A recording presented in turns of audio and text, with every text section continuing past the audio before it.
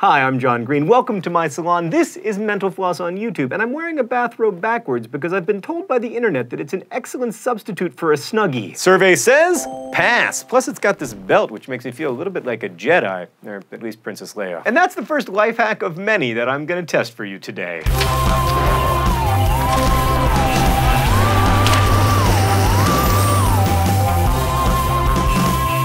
This is a black t-shirt covered in deodorant. Clearly it is not my size. The internet tells me I can remove this deodorant with a dryer sheet. Let's see how that goes.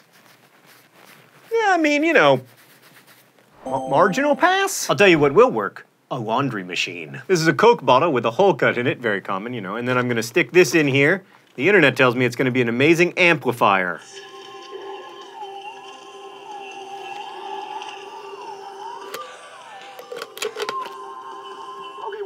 Phone out, let's see if it can really be leaned against sunglasses. Of all the things in human history that have successfully amplified sound, this Coke bottle amplified it the least, but technically pass. But why am I even bothering with iPhones and plastic bottles? We all know that life hacks are all about food, so let's get to some of those. Apparently, the best way to eat Cheetos is with chopsticks, because then you don't get orange stuff all over your hands. Also, you look really cool. Meredith, thank you for getting me these dummy chopsticks that anyone can use. You know what? Pass. Now, I can't finish eating these until after I've hosted this video, so I'm going to seal the bag with a pants hanger that I'm going to use as a chip clip. Ah! Pass, although there are very sharp edges. If you're looking for a healthier snack, I'm going to try to core this head of lettuce by slamming it on this cutting board. One, two. Ow! Oh! Mmm, fail and I hurt myself. Now, if you ever find yourself with a cup of applesauce and no spoon, it is supposedly very simple to take the foil from the top and mold it into a mini spoon. Do some twisties. Twisty, twisty, twisty. Turn this into a spoon. Yep, there we go. Nice little spoon. And then. Oh! Pass! Okay, I also have a bag of chocolate chips because my grocery list is very strange. Would you believe that some people don't actually pour this whole thing into their cookie batter? Lucky for them, you can just grab one of these water bottle tops that you always have sitting around and reseal the bag. You unscrew the top here. Ah.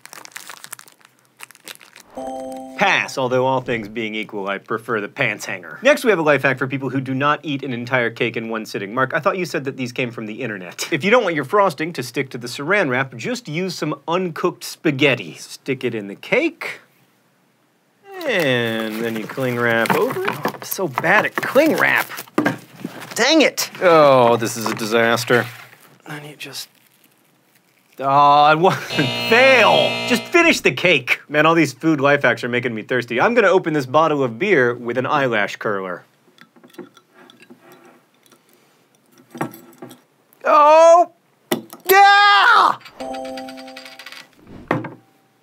Ah, pass. All right, let's end the over 21 portion of the program. Meredith has clearly been cooking with this sticker still on the pot. I've been told that vodka can remove that sticker. All right. Get it nice and vodka-y. And then remove the sticker.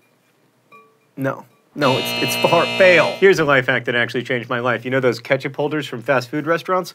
What? They hold so much more ketchup than you know about. We're gonna do an extremely scientific survey. One, 1,000, two, 1,000, three, 1,000, four, 1,000, five, 1,000. 1, 1,000, 2, 1,000, 3, 1,000, 4, 1,000, 5, 1,000, 6, 1,000, 7, 1,000, 8, 1,000, 9, 1,000. It goes on and on. It's much better. While I was out getting those ketchup packets, I also picked up a drink with a plastic lid so that I can test if the lid will really serve as a coaster. No, it doesn't. It is not the right shape at all. Fail. I mean, not that it matters. As a person who frequently drinks from Arby's cups, I can tell you that we as a population are not terribly worried about our coffee tables. And now I'm going to water the plants, which is not something that I usually do, but whatever. It's a life hack. If you don't have a watering can, I've been told that you can just poke holes in a bottle of water and get a watering can. Fail. Okay, craft time. Meredith drew this on a piece of wax paper, and I should be able to transfer that image onto this plain white candle to turn it into a mental floss work of art if I apply heat via this hair dryer.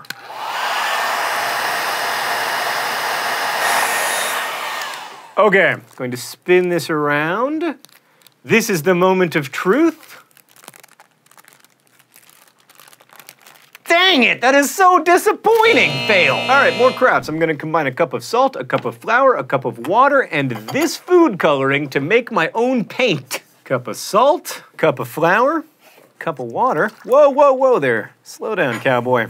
And a full thing of green food coloring.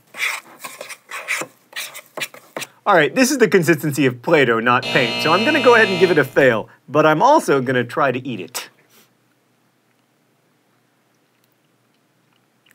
Not bad.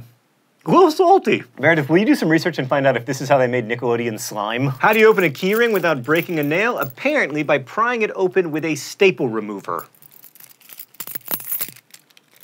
It, it works in the sense that it does pry open the keyring, but not in the sense that it like helps you get the key out, so fail. And while you're using office supplies to do things completely unrelated to office work, try getting rid of grape seeds with a paperclip. I mean, I'm just gonna predict fail. This is like performing surgery with the world's least sharp knife. I mean, I can technically remove the grape seeds. Actually, you know what?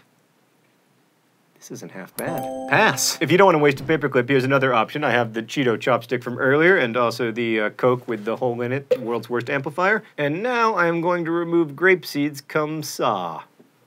Fail. Oh, hi there, giraffe.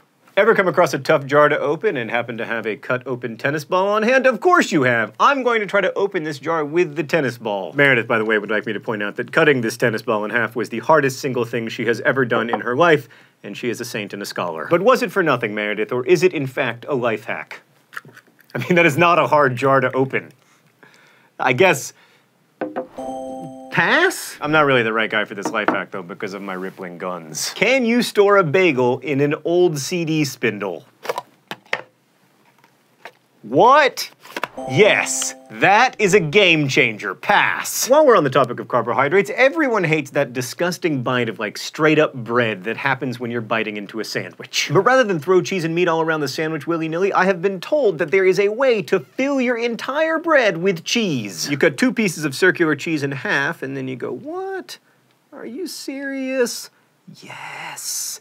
It's going, it did, it worked pass! I just upped my grilled cheese game big time. But if you're more of a pizza person, and let's face it, if you love freedom, you are, but you don't have a pizza cutter, you can always just use your kitchen scissors. I don't understand why the internet thinks this is a life hack when I started doing it when I was four, but anyway, pass. And why use a knife to even out measurements of things like cocoa when you could just use a contraption made of masking tape? Pass. I have here a pre-popped bag of popcorn, and as we all know, the worst part of eating microwave popcorn from the bag is when your hand rubs up against the fake butter stuff and you feel the shame when you realize what you were actually eating. The internet has solved this problem. You just put the bag on its side, you cut a hole out of the top, Mmm, delicious popcorn, no weird butter feeling. Pass. Now we're moving to the kitchen for some life hacks. So before we started shooting, Mark put this envelope in the freezer, and apparently I can now open it with this letter opener. Okay, kind of, and then I can go in and explore the... Mm, mm, mm, mm.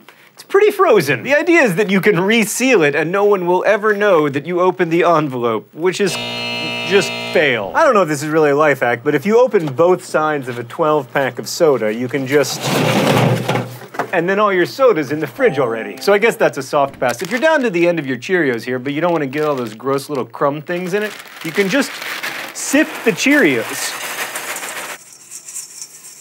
And you're left with pure cereal. Pass. We've already seen how useful pants hangers can be, but did you know that they can also improve your cookbooking? Put the clip right here, hang the hanger up right there, and I'm cooking and I'm looking. Pass. Thanks for watching Mental here on YouTube, which is made with the help of all of these nice people. Every week we endeavor to answer one of your mind-blowing questions. This week's question comes from Liz Campbell. Hi Liz, I hope you don't mind if I try to open this blister pack with a can opener while I answer your question. The question is, where the heck does it say that Humpty Dumpty is an egg? This, by the way, is a fail. Everyone knows that you can't open a blister pack ever, no matter what. But right to your question, Liz, yeah, it, it doesn't say that Humpty Dumpty is an egg. The origin of the nursery rhyme is unclear, but many believe that it began as a riddle, with the answer being an egg. That's why Humpty Dumpty is often pictured as an egg. Thanks for watching. Don't trust everything you see on the internet, but do use your pants hangers to clip your chips. And as we say in my hometown, don't forget to be awesome.